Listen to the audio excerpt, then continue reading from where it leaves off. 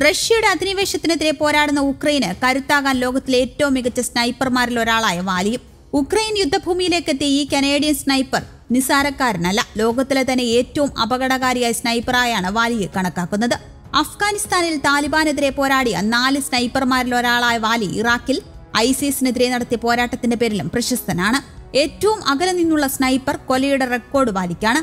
മൂന്ന് ദശാംശം അഞ്ച് കിലോമീറ്റർ അകലെയുള്ള ലക്ഷ്യമാണ് വാലി വെടിവെച്ചിട്ടത്. ബുധനാഴ്ച ഉക്രൈനിൽ എത്തിച്ചേർന്ന വാലി രണ്ട് ദിവസത്തിനുള്ളിൽ തന്നെ ആറ് റഷ്യൻ സൈനികരെ വധിച്ചുവെന്നാണ് റിപ്പോർട്ടുകൾ.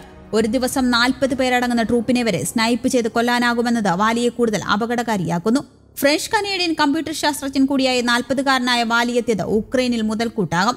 രണ്ടായിരത്തി ഒൻപതിനും രണ്ടായിരത്തി പതിനൊന്നിനും ഇടയിൽ അഫ്ഗാനിസ്ഥാൻ യുദ്ധത്തിൽ രണ്ട് തവണ വാലി സേവനം അനുഷ്ഠിച്ചിട്ടുണ്ട്. അഫ്ഗാനിസ്ഥാനിലെ യുദ്ധകാലത്താണ് അറബിയിൽ സംരക്ഷണ എന്നർത്ഥം വരുന്ന വാലി എന്ന വിളിപ്പേർ അദ്ദേഹത്തിന് ലഭിച്ചത്. വാലിക്ക് ഭാര്യയും ഒരു മകനുമാണുള്ളത്. ഞാൻ ഉക്രൈനിലേക്ക് പോകുന്നത് മനുഷ്യത്വപരമായ കാരണങ്ങളാലാണ് എന്ന് വാലി പറയുന്നു.